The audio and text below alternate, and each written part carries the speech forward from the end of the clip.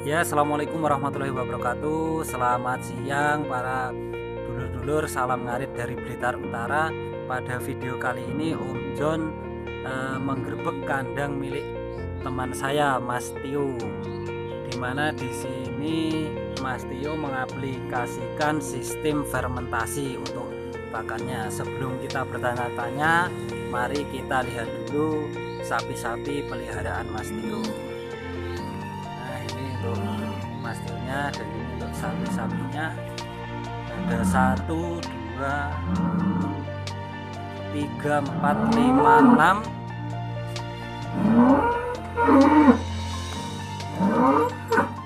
Delapan mas ya. Ada delapan ekor. Ini ada jantan dan juga betina. Oke kita simak tipe tempat makannya. Juga dilengkapi dengan tempat air. Untuk fermentasi ini juga sudah berjalan berapa bulan?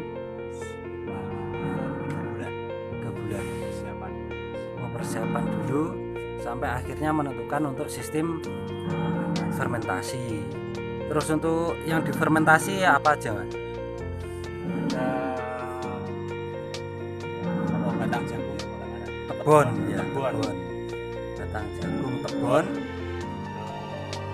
jungle jungle selain ya kalau kolon jono. Sama kolon jono.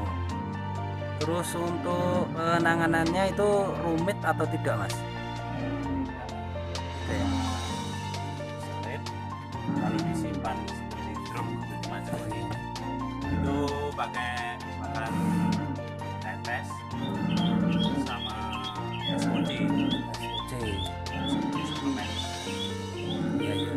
dan untuk fermentasiannya ini kuat berapa bulan mas kira-kira?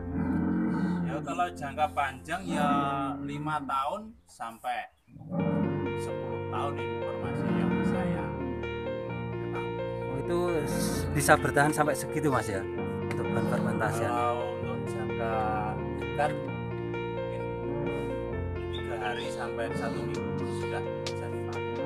Oh, berarti ketika kita membuat fermentasi itu jarak tiga hari sudah bisa diberikan ke sapi mas. Sudah sudah. Terus ini untuk biaya menurut masnya itu lebih ringan kalau pakai fermentasi atau istilahnya ngarit cari rumput mas? Fermentasi kita masih waktu dan berarti lebih ringan menggunakan fermentasi karena eh, waktu dulur ini ketika kita menggunakan fermentasi itu masih banyak waktu luang untuk digunakan untuk beraktivitas atau bekerja yang lain mas. Cara nilai gizi pun hasilnya lebih lebih bagus ya perkembangannya pun mungkin jangka tiga bulan lima bulan sudah bisa dilihat. Satu bulan pun sudah sudah mulai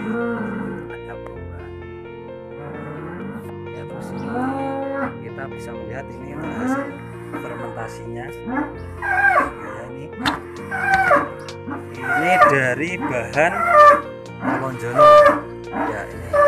Fermentasinya dari Kolonjono terus ini untuk sapi pejantannya ini nanti ditargetkan keluar ketika bobot atau usia berapa teman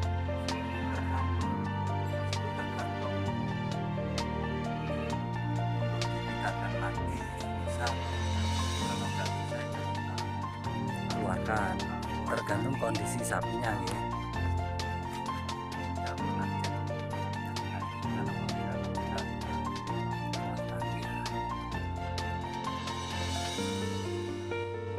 Ya ini Mas Tio juga mencoba untuk sistemnya apa Mas ini? Seperti ini. Ini satu indukan digunakan untuk sistem ya, adopsi. sistem adopsi ini ya.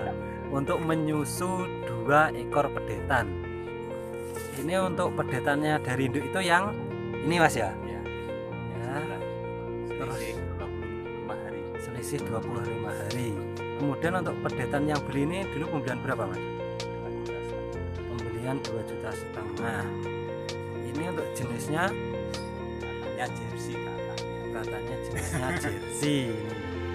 Untuk yang pembelian 2 juta 500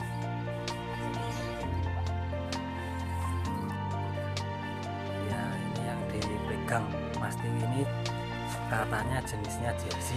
Terus untuk yang jauh itu itu hasil dari indukannya itu ini untuk jenis indukannya ini simental. Ya ini kalau logika ini menguntungkan dulur. Karena apa? Sekali merawat itu kita bisa langsung memelihara dua ekor pedetan. Yang otomatis nanti jika besar itu nanti labanya langsung dua. Ngerti nggih Mas? Ini juga trik untuk mempercepat perkembangan. Dan otomatis untuk pedetan petotan di sini istilahnya itu harganya kan masih murah. Jadi bisa dijangkau untuk para peternak-peternak pemula. Dan ini juga sebagian bentuk motivasi untuk para peternak muda Indonesia untuk selalu berkembang. Sebelumnya saya ucapkan terima kasih. Niki video ini pakai kalau upload di YouTube ya mungkin demikian video Onjon pada kali ini.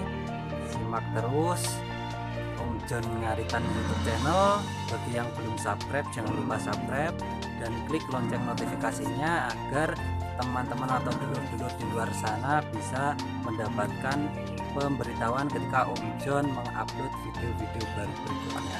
Salam ngarit salam gosek esek esek esek esek